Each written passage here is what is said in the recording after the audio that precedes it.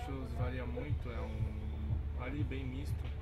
Tem trecho travado, tem trecho de alta, gostei bastante dos trechos. É, nossa meta é terminar o rally, porque a gente vem de duas etapas que não conseguimos terminar. Então fizemos um levantamento bem minucioso, revisamos, vamos revisar de novo depois que a gente filmou.